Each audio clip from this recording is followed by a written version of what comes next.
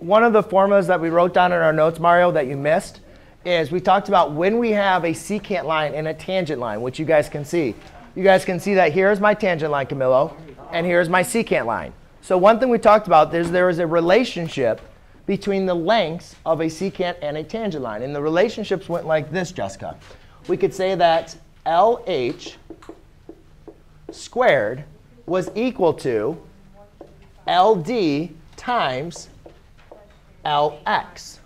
That was our relationship, that the length of the tangent line was equal to the length of the secant line to the circle times the whole length of the secant line. All right, so that was one of those formulas that we presented last class period. So now let's just go and figure out what is our length for each. LH is going to be 12 squared equals LD, which is x, times what is this plus this, right? We're adding x plus x plus 2. So it's this. This length is x. This length is x plus 2.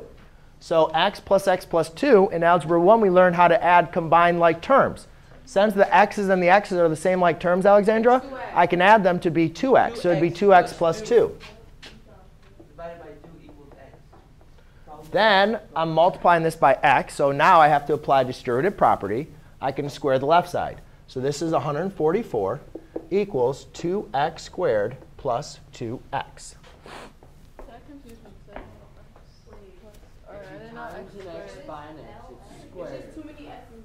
That's a lot. So now we need to solve this. Now, um, yep. The x, like for the formula, the x right there, is that the x? Oh, I'm sorry. That's LA. Sorry about that. That's probably a little confusing. Thank you. It's L to D to L to A. My apologies. So the length of LD is x. The length of LA is 2x plus 2 because you're combining those two lengths, right? So you got to make sure you add them. And remember, x plus x plus 2 is 2x plus 2. You can combine the x's.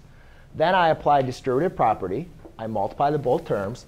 And now I get this. Now, in Algebra 1, we learned there's a problem when you're trying to solve equations and you only have one variable. You isolate the variable, right? You undo the operations that's happening to the x.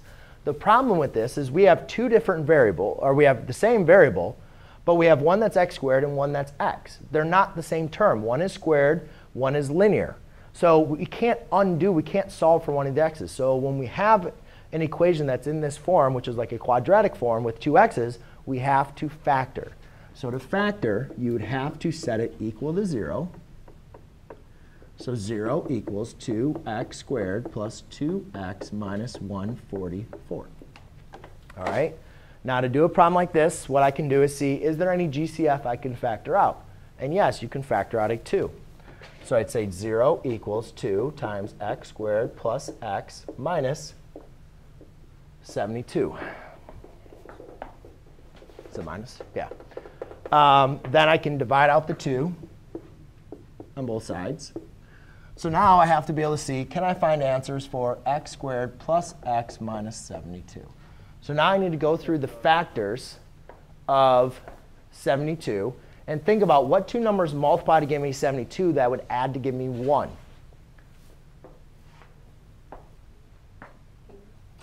Huh? What are some numbers that multiply to give me 72? 12. 12 times what? 5. 12 times 6. How about That close. Right? However, since it has to be negative, if I make one of these negative and add them, would they give me 1? That one has to be negative. So I do negative 12 times 6. That gives me negative 72. But when I combine those, does that give me 1? No, it gives me negative 6. Right? Doesn't matter if I do it this way. Now it gives me positive 6. So 12 and negative 6 aren't going to work. What are some other numbers that multiply to give me 72? 12. We already did 12. 12 and 5 is 60. 12 times 6, negative 6. 6. Anybody else? What about 36 and 2? Yeah? Right? What about 4 and 18? But is the difference of any of these 1? When you add or subtract, when you subtract on one of these, doesn't matter either way, because one of them has to be negative to multiply to give you negative 72. Is any of these have a difference of 1? No, so none of them are factors. How about 9 times 8. Yeah.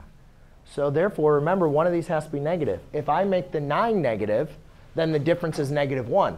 I want the difference to be a positive 1. So I'm going to make the 8 negative and the 9 positive. Therefore, my factors are x minus 8 times x plus 9. Why? Because remember, when you do the FOIL with Miss Eldridge, you had negative 8 times 9 is negative 72.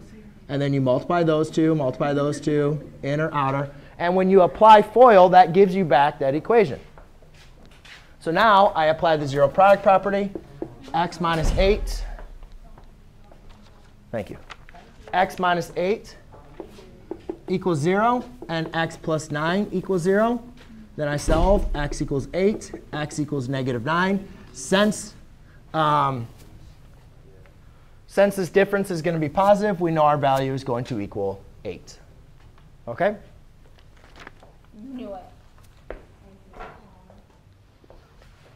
OK,